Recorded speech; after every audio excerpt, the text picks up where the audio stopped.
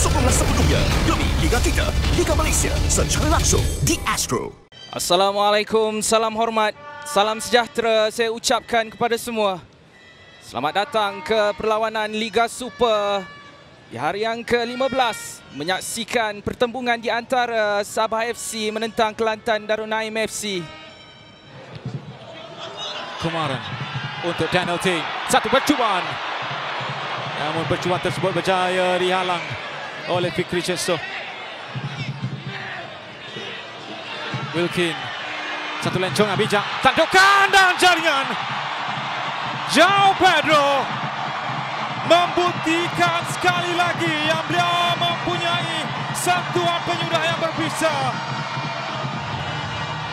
Tiga gol dalam dua perlawanan untuk João Pedro menjadikan jaringannya kelima secara keseluruhannya pada musim ini dalam saingan Liga Super. Untuk bintang baru Sabah. Dominic Tan. Wilson. Farhan. Satu lagi lambungan untuk Askumaran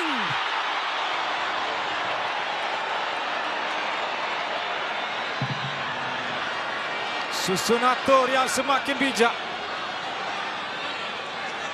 Untuk Sabah mencari jaringan kedua mereka. Lihat bagaimana pembinaan serangan ini antara lambung dan lari yang cukup bijak dari belakang oleh As Kumaran.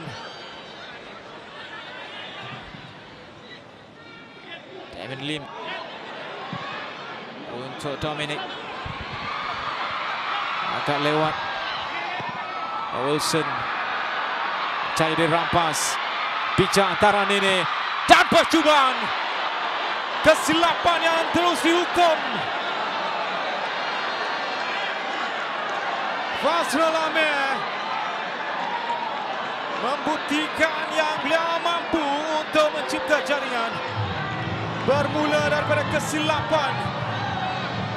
Kelekaan. Yang akhirnya memakan diri untuk Sabah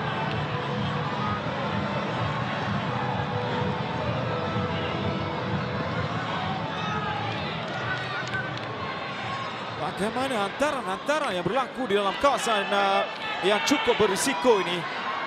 Sentuhan pertama yang cukup besar berat daripada Ra Wilson. Antara yang bijak daripada Ashraf Ali Fudin. Sesuatu. Oh. Sambil kita memperkatakan mengenai jaringan yang baru saja berlaku. Sabah terus membalasnya dengan jaringan kedua.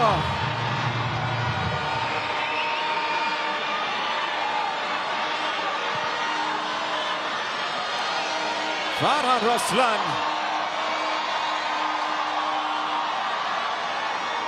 Yang mencipta jaringan kedua untuk Sabah. Kita nantikan adakah akan ada satu lagi jaringan tambahan. Tandukan dan satu lagi jaringan menerusi João Pedro.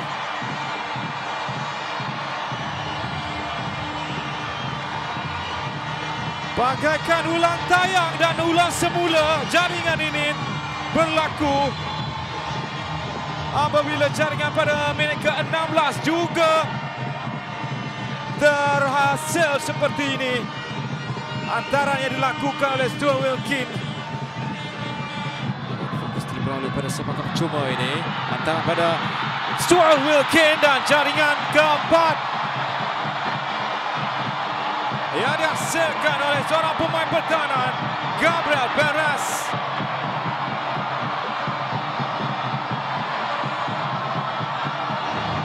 Dengan satu lagi tandukan yang melemaskan Fikri Cesong Lencong yang baik, tandukan Gabriel Perez untuk jaringan kedua sebelum adanya bendera yang diangkat.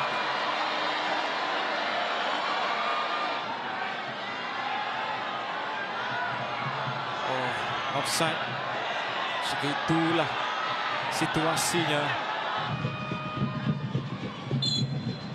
Sentuhan terakhir yang membabitkan uh, pemain Kelantan Darul Naim untuk menutup cerita di Stadium Likas dengan Sabah sekali lagi dengan persembahan memukau mereka untuk keputusan masa penuh di Stadium Likas Sabah 4 Kelantan Darul Naim 1